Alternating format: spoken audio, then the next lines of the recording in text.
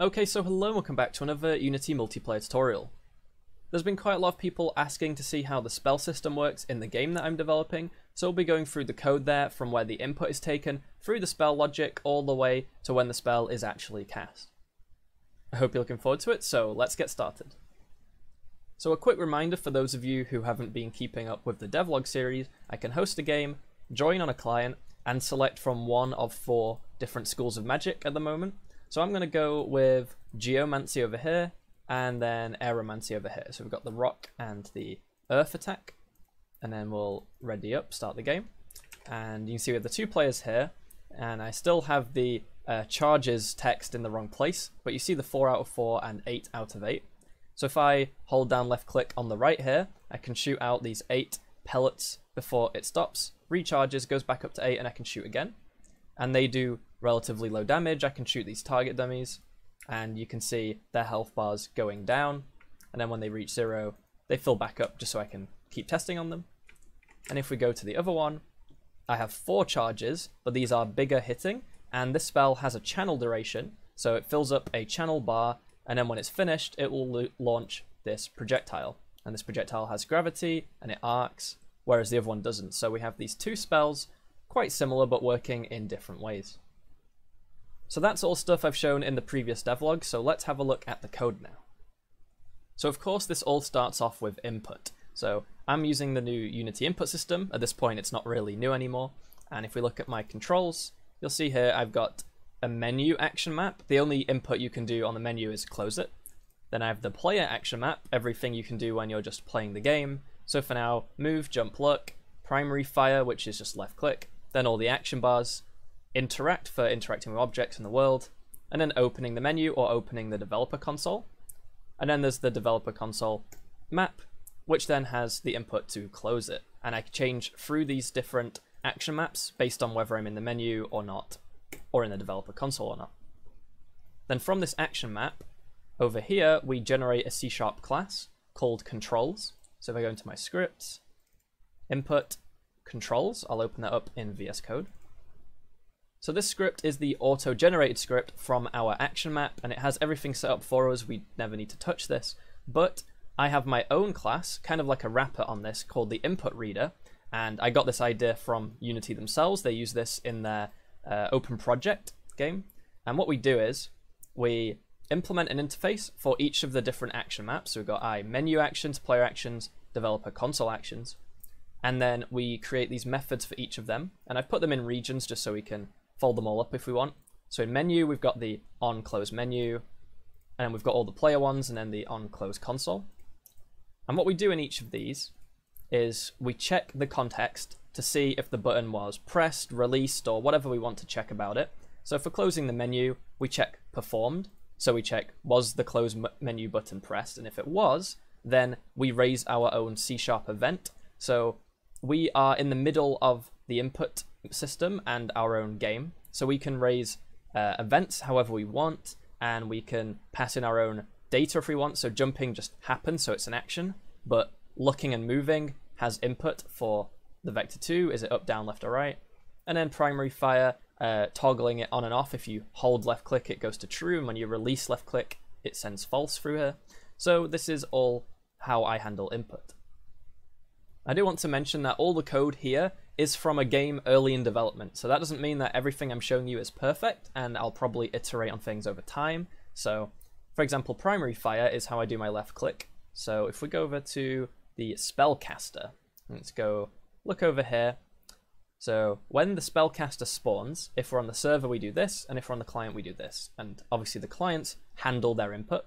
So we're checking here, input reader primary fire event. So when the person presses the left click button, we call handle primary fire. And that checks if we're targeting. Now, I haven't currently got a spell that uses targeting, so we can kind of ignore this for now. Um, it just sets a bool to true. And the reason why we are doing this is because I allow the player to hold left click to keep attacking. So rather than having to spam left click to fire eight bullets on the air spell, you can just hold left click and every time it's ready, it will keep firing a new one. So we turn that on and off. Another thing that I mentioned in the previous video to keep in mind is that I have some logic on the client side that ideally should be on the server side, but because we don't have client-side prediction and lag compensation yet, I decided just to put some of it on the client side, but I do know in the future I will move it. But for example, if I go up to where is firing is used, the owner is checking if we're firing and handling, checking if we can basic attack and if it's on cooldown or not. So this means the clients are in charge of handling cooldowns and spell charges, mana, that kind of thing. So you don't want that ideally because then clients can cheat. If people know how to hack their client, they can, you know, effectively just fire off as fast as they want, regardless of any cooldowns or anything. So keep that in mind. I will change this in the future, but it works simply enough for now. So the first thing the owner does is checks, do we have a basic attack charge? That's the thing that the air spell had 8 of. Every time you cast, it removes 1. So when you're at 0, obviously you can't attack. And then it stores how long until it recharges. And then if we go down here, once it's run out of time until recharging, it can then set it back up to the max charges and you can start firing again. So this script purely handles charges. And then a similar thing here with the cooldown, we check a script on the player to see if the spell is on cooldown. So we store here a list of spell cooldown state, the spells are on cooldown. This is just the ID of the spell and when it's ready. And then in the update, we keep checking, has the time passed for the spell to be ready? And if it is, remove it from this list. So to check if a spell's on cooldown, you just check, is it in this list? And then if it is, we return true, and if it's not, we return false. And then we also want to make sure we don't cast this spell if we're in the middle of casting another spell.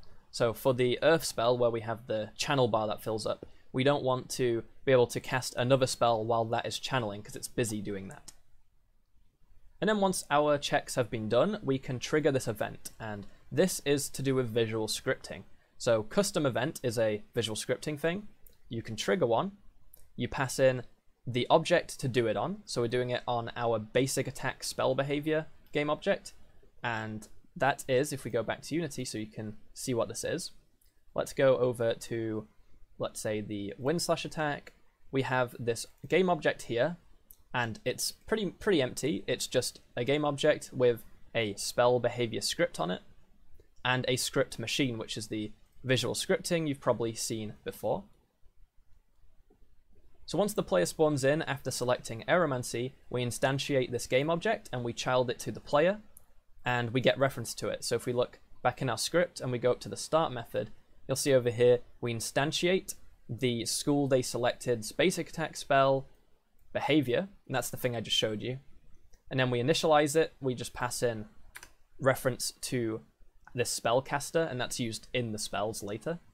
And then we add it to our list of spell behaviors, and we also store it as our basic attack spell. And that's how we then reference it down here. So we trigger on this object an event called casting started event name. That's just a const I made, just called casting started. So the reason I do it this way is these lines that we have before the custom event are just things that are checked for every single basic attack spell because they all have charges, cooldowns, and can't be cast while casting other things. So we do all this in code, and then we trigger a custom event, and that takes us into the visual scripting, which I've chosen because I want the spells to be designed in a visual way. I think it works better for the spells. I think it's easier to kind of adjust things and iterate over time and experiment with things. And I think it's more fun and it's laid out in a way that makes designing a spell easier. So for some reason, uh, parts of the UI are a bit weird. That just keeps happening with visual scripting for some reason, but you can at least see the different connections here. So on our graph, I have all the data down here for the spell, all the kind of settings. So we have the spell scriptable object, the animation to play, the projectile prefab spawn, uh, the aiming, tilt, and the force, all, all the kind of custom variables for spawning in the spell and handling it. And that custom event we trigger called casting started goes into here. So this is a subgraph, which is just another graph that we can reuse. And this graph, all it does is it uses the custom event node, and this takes in a string, so the event name, and just outputs um, a trigger here whenever that event is called. So we have the string here, this const we had in a code. We have the casting started event, I made it a public const so it shows up in visual scripting. I plug that in as the string, And then whenever we trigger that event, it goes to the output, which in our case goes here, puts it on cooldown. Putting on cooldown is just another subgraph, gets our spellcaster, grabs the cooldown handler, and puts the spell on cooldown, then continues. So these kind of um, repetitive logic things that uh, we have all over the place, I've put into subgraphs so I can keep reusing them. Then we consume a base attack charge, play an animation for all the clients, and then we launch the projectile. So at the moment, this code in the green box is handled on the owner, and in the red box is handled on the server. So the owner's going to spawn in a kind of dummy version of the spell. So if it's a projectile like a fireball, it will spawn in just the visuals of the fireball, and then it will tell the server, hey, spawn in the actual fireball. The server will do that, and then it will relay that message to all the other clients, and they'll spawn in the dummy one too. That's what this spawnable index is, this dummy spawnable index. On our spell, if I go over to the spell, we have a list of spawnables, and this is just things we can spawn in with the spell. So at the moment I have the dummy projectile, which if you look over here, for this spell is just a sphere and not much else. Um, it does have a lifetime and when it collides it gets destroyed, but it doesn't deal any damage, just destroys itself. So when we called that launch projectile owner and server where we're handling the spawning in of projectiles and stuff like that, we have to deal with RPCs and sending stuff back and forth from the server. So we do that in a C sharp script. So if I go over to the code, we have the spell, where is it? Mechanics handler, here we go. And this handles the animation and also the projectiles. I won't go through every line here since this is to do with spawning stuff in and raycasts or whatever, so it's it's nothing important. But this is what we call the method where we pass in the spell, the spawnable index, the tilt, and the force. And the owner is going to effectively check where it should spawn in, do all that, and it then calls a server RPC telling the server what spell we're casting, uh, where it should spawn in, and the rotation. And then the after telling the server to do that, it will then spawn in its own dummy version and launch that off. That's purely just for visuals, so you get that instant feedback. And then the server will receive that message. And the server calls a custom event. And that custom event the server calls is, if we go back over, this red bit down here. I know sometimes visual scripting is weird. This is perfectly fine. It's still working. It just shows up as red for some reason. But it comes in here, the launch projectile event and the server will then call launch projectile server. And you might wonder, you know, why don't I just do this entirely in the code? But it's because different spells will want to do different things. At the moment, this is very basic, and we just want to spawn it in, but other spells will do other things. So that's why we've got this here just for the future. And it calls this method, which will spawn in the projectile, and then tell all of the clients to spawn in the dummy zero, which is just the dummy projectile prefab. And then the clients will receive this RPC, and then they'll spawn in the dummy prefab and launch it off. So yeah, that's pretty much it. I know there was a lot to take in there, and me going through all this code I've written over time in a matter of 10, 15, 20 minutes, now obviously it'll be hard to take it all in fully, but uh, obviously with this video you could slow it down, go back, rewatch parts if you want, and see see bits of the code, because I'm not going to put this publicly on GitHub, at least I don't plan to, because it is my own project that I plan on one day releasing, so I want to keep, you know, the entire code base private apart from bits I decide to show on stream or on YouTube. So the other thing in here, I guess, is the animation. So it's the same thing. The server, sorry, the owner does this, the owner tells server, the server then tells all the clients. The reason why the server doesn't actually do anything in here is because the server doesn't need to play an animation, it won't do anything. Whereas with projectiles, the server needs a version of the projectile that handles dealing damage and exploding or whatever. But animations are purely visual, so we just have the client see them. The entire point in the script is for any logic that needs to RPC back and forth from the server. So this is where that's all handled. At the moment, that's just animation and projectiles. There might be more, I'm sure there will be more further down the line that this script will handle. So I'm pretty sure that's the flow for spellcasting. The only other thing that might be worth looking at is the actual projectile itself. So we have the base, which is never actually spawned in. It's just a prefab that we make variants of. So we have the dummy version, which is just visual, and all it does is it destroys itself on collision. And then we have the one that's not a dummy, that's the server one. I could put underscore server, might make sense. And that also has the same lifetime, uh, detects the same uh, collision layers, all that stuff. And then, yeah, again, it looks like it's broken, but that's just because I need to regenerate the, the nodes.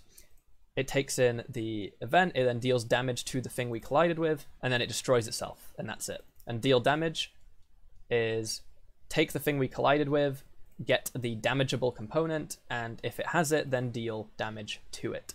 And I might as well quickly show you the damageable component. So that'll be in combat, projectiles, oh sorry, no wait, getting lost in here, just combat. Just has a deal damage method that then modifies the health.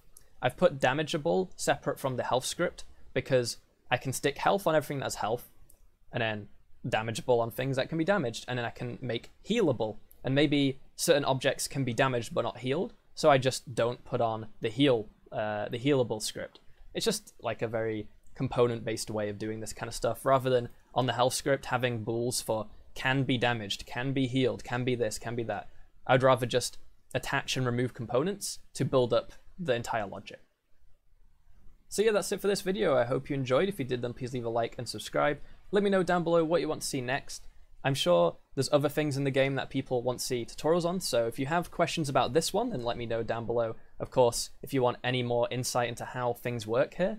But I hope you enjoyed, I hope you found this useful. That's it for now, and I'll see you in the next one. Goodbye.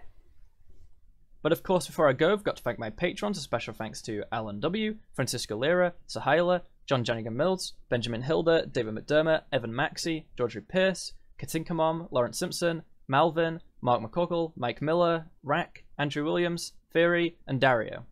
If anyone else is able to help support the channel monetarily, link to Patreon is down below.